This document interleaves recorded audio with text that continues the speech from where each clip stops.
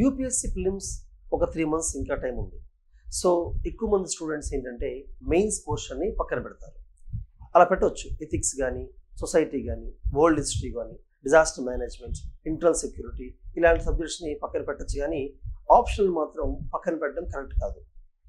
ఇంకో three months films ఉంది కాబట్టి అట్లీస్ట్ ఒక టూ మంత్స్ అయినా కూడా డైలీ వన్ అవర్ చొప్పున ఆప్షనల్ని కంటిన్యూ చేయండి.